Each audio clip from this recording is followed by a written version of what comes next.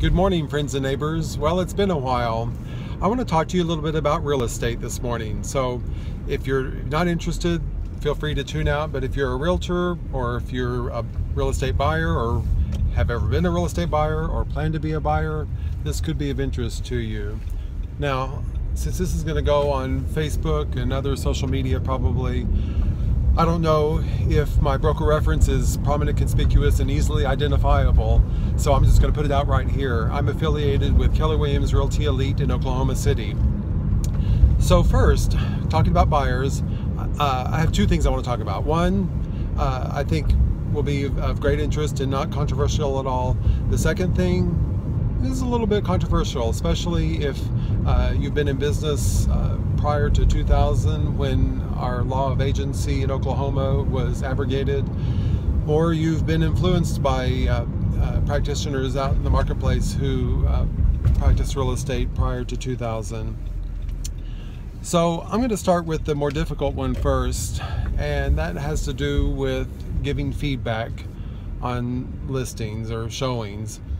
So um, there's a culture out there right now uh, for buyer's agents to provide feedback to listing agents for their uh, showing and to let the the seller know what the buyer thought of the of the property.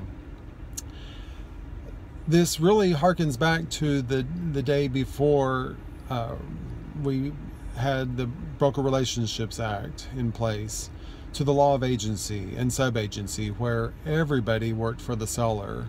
Well, y'all, that's no longer the case. We have no obligation to uh, serve the, the seller in that way. Listing agents do. Buyer's agents do not. And in fact, if they have a buyer broker service agreement with that buyer, that buyer is their client and they owe them some duties. One of those being confidentiality. Part of the confidentiality is motivation. Providing feedback could be um, lessening the, the buyer's position in their motivation. So if you're going to give feedback to the seller via the listing agent, you better have buyer's written permission, written authorization. Otherwise, um, it could be thought of as um, breaking the law. So be careful there. The other area I want to talk about is um, also confidentiality, but not controversial. In this day and age where people want to feel more secure about their properties, the age of information and accessibility, many um, property owners um, are uh, arming their houses with surveillance systems, uh, cameras, some with audio, many with audio.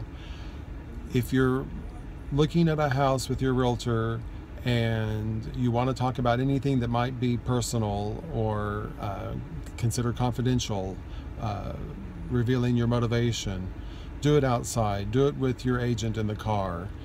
Do not talk in the house.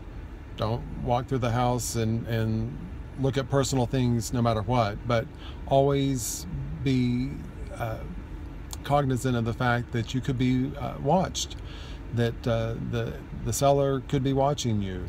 So obviously you want to be on your best behavior anyway, be respectful of the owner's property, but certainly don't be saying disparaging things about the seller or the property. Don't talk about what you're willing to give or any motivational uh, uh factors there.